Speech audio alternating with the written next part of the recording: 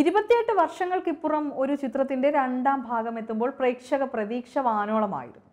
കമൽഹാസനെ നായകനാക്കി ശങ്കർ സംവിധാനം ചെയ്ത ഇന്ത്യൻ ടു ജൂലൈ പന്ത്രണ്ടിനാണ് റിലീസ് ചെയ്തത്. ബോക്സ് ഓഫീസിൽ നൂറ്റി മുപ്പത്തി അഞ്ച് കോടി പിന്നിട്ട ചിത്രത്തിന് റിലീസ് ദിവസം മുതൽ ട്രോളുകളുടെ ഒരു പൂരമായിരുന്നു.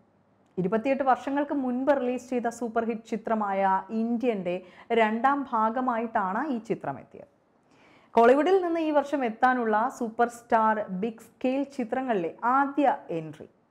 എന്നാൽ എത്ര ഹൈപ്പോടെയാണോ എത്തിയത്? അത്രത്തോളം നെഗറ്റീവ് റിവ്യൂസും ട്രോളുകളുമാണ് ചിത്രത്തിന് ആദ്യ ദിവസം തന്നെ നേരിടേണ്ടി വന്നത്. ഭേദപ്പെട്ട അഡ്വാൻസ് ബുക്കിങ്ങോടെയാണ് ചിത്രം വെള്ളിയാഴ്ച തിയേറ്ററിലെത്തിയത്. അതുകൊണ്ട് തന്നെ നെഗറ്റീവ് അഭിപ്രായങ്ങൾ പരന്ന ആദ്യ ദിവസം ചിത്രം മികച്ച രീതിയിൽ കളക്ഷൻ നേടാൻ സാധിച്ചു. പ്രമുഖ ട്രാക്കർമാരായ സാഗ്നിൽക്കിന്റെ കണക്ക് പ്രകാരം മുപ്പത് ദശാംശം രണ്ട് അഞ്ച് കോടിയാണ് ചിത്രം വെള്ളിയാഴ്ച ഇന്ത്യയിൽ നിന്ന് നേടിയെടുത്തത്. എന്നാൽ രണ്ടാം ശനിയായിട്ട് കൂടി തൊട്ടു പിറ്റേന്ന് കളക്ഷൻ പാടെ കുറഞ്ഞു. ഇരുപത്തിയൊന്ന് ദശാംശം ഒരു കോടിയാണ് ശനിയാഴ്ച ചിത്രം നേടിയത്. ചിത്രത്തിനെതിരെ ശക്തമായ വിമർശനം ഉയർന്നതോടുകൂടി അണിയറ പ്രവർത്തകർ ചിത്രത്തിൽ നിന്നും ഇരുപത് മിനിറ്റ് നീക്കം ചെയ്യുകയും ചെയ്തു. എന്നാൽ ഇതൊന്നും പടത്തെ രക്ഷിക്കില്ല എന്നാണ് കണക്കുകൾ വ്യക്തമാക്കുന്നത്.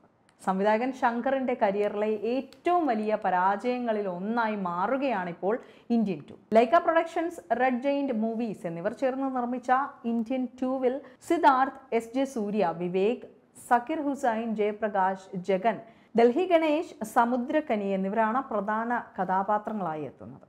വലിയൊരു താരനിര തന്നെയാണ് ചിത്രത്തിലുള്ളത്. ശ്രീ ഗോകുലം മൂവീസാണ് സിനിമയുടെ കേരളത്തിലെ വിതരണ അവകാശം സ്വന്തമാക്കിയിരിക്കുന്നത്. പഴയ രീതിയിലുള്ള ഫിലിം മേക്കിംഗ് ശൈലിയാണ് ശങ്കർ ചിത്രത്തിന് നേരെ ഉയർന്ന ഏറ്റവും വലിയ വിമർശനം. ചിത്രത്തിലെ പല രംഗങ്ങളെയും ആരാധകർ കടുത്ത ഭാഷയിലാണ് വിമർശിച്ചിരിക്കുന്നത്. ഒന്നാം ഭാഗത്തിൽ എ ആർ റഹ്മാൻ സംഗീതം ഹിറ്റ് ചാർട്ടിൽ ഇന്നും നിലനിൽക്കുമ്പോൾ അതിനേക്കാൾ മികവുറ്റ സംഗീതം ഒരുക്കുന്നതിൽ അനിരുദ്ധ് ശ്രമങ്ങൾ നടത്തിയെങ്കിലും അതിന്റെ വലിയൊരു ഇമ്പാക്റ്റ് ഒന്നും ചിത്രത്തിന് ലഭിച്ചില്ല എന്നത് തന്നെയാണ് സത്യം.